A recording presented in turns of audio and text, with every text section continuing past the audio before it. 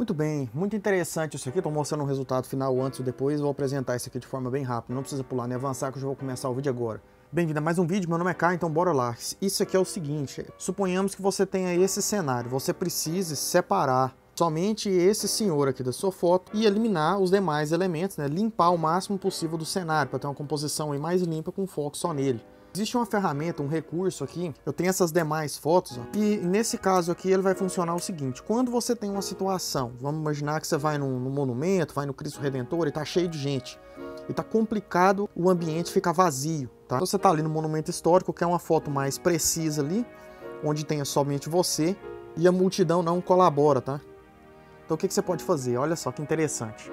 Aqui uma função, ela vai te ajudar bastante na remoção. Você vem aqui em File, Script, Statics. Clicando aqui, ele vai abrir esse menuzinho, você vai colocar Browse, e aqui eu tenho todas essas imagens aqui, ó, aquelas imagens que eu mostrei, do mesmo ambiente. Se você conseguir um tripé, uma coisa assim, melhora mais, tá?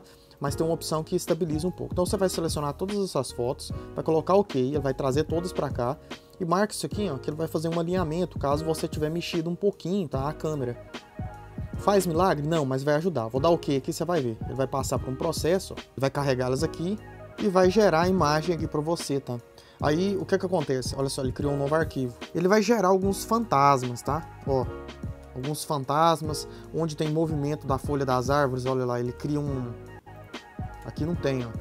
Ele vai criar uma espécie aqui de enevoado, e aí o que você faz? Você pode pegar esse arquivo, Ctrl A, Ctrl C, Vou voltar aqui, Ctrl V, certo? Agora tem essas duas. E aí a gente pode fazer uma certa limpeza, igual por exemplo, agora você utiliza a parte manual, né? Então, por exemplo, esse fantasma aqui, ó, que ele acabou gerando, você apaga. Você pode criar uma máscara também para apagar, ó. Dá uma limpada nessas regiões. Ó, esse, esse aqui eu vou dar uma limpada.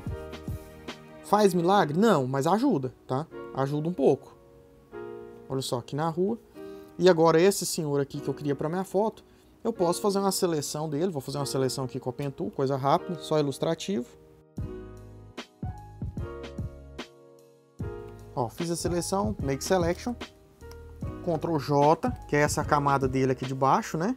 Jogo para o topo e ele está aqui agora separado, recortado do fundo. E aqui, ó, tem alguns fantasmas ali atrás. Aí, como nessa foto original dele tinha menos, eu posso vir aqui e apagar e deixar mais da original. E basicamente é nesse caminho, tá? Você consegue suavizar aí, melhora um pouco o aspecto e pode te ajudar a fazer uma, uma limpeza, tá? De pessoas aí no cenário. Eu peguei aqui um caso extremamente crítico e complexo, uma rua movimentada, né? Muitas pessoas, trânsito, para mostrar que, justamente que pode gerar alguns fantasmas aí, alguns obstáculos na produção. Aqui fica atento que eu esqueci de deixar, ó, tem que ter a sombra dele, senão fica estranho. Fica atento a esses detalhes pequenos, tá? Então isso aí pode te, te dar uma luz aí para fazer uma restauração de um cenário. Então espero que tenha sido útil essa dica. Depois você testa, me conta se funciona, me conta se não deu certo. Deixa suas considerações e observações aqui abaixo. Valeu demais, brigadão, sucesso!